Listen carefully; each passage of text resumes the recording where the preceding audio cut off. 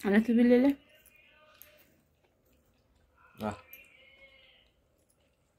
उठ उठ गर्दन उठा इधर मेरे पास